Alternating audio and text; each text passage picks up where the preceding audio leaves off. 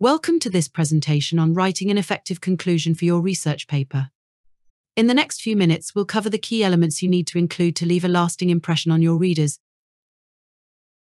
The purpose of a conclusion is to summarize your main findings, restate the significance of your research, and provide a sense of closure to your paper.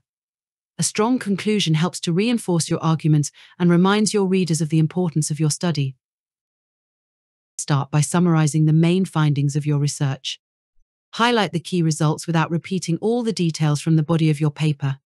Focus on the big picture and the most important takeaways. This helps your readers recall the most significant aspects of your study. Next, restate the significance of your research.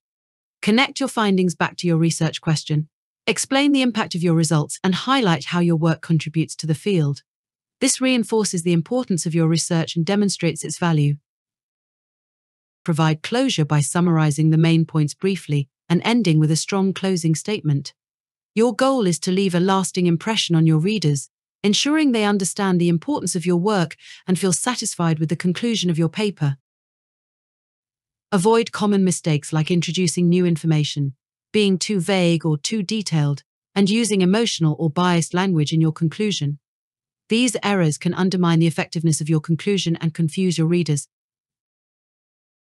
You can also include a call to action or suggest directions for future research.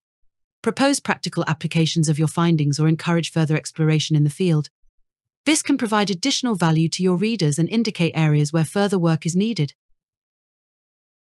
Here's an example of a strong conclusion summarize your main findings, restate the significance, and end with a strong closing statement that reinforces the importance of your work. This structure helps to create a clear and impactful conclusion.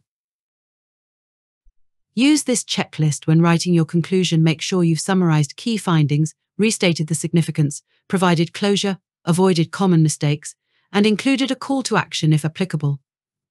This ensures your conclusion is comprehensive and effective. Final tips keep your conclusion concise, stay focused on your research, and revise for clarity and impact. A well crafted conclusion can significantly enhance the overall quality of your paper and leave a strong impression on your readers. Thank you for watching. If you have any questions, feel free to ask. You can also reach out down below. Good luck with your research paper.